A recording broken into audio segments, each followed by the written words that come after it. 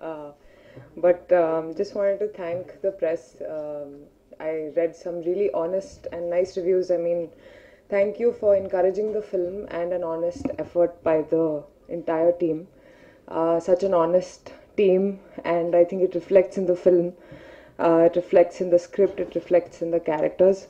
Um, so very very happy to have been a part of uh, such a beautiful movie, and I'm so glad that uh, you guys liked it, and then also the audience. I read some amazing uh, reviews by the audience on Twitter. We keep seeing, we keep uh, uh, noticing, and um, it's been so positive. I've, I think in all my movies, uh, this is the most positive feedback I have received uh, from for a movie. So uh, very very happy, and and that's it. Congratulations to the team. And uh, I hope we keep giving you better movies and content oriented movies. And uh, yeah, that's it. Thank you so much. Thank you.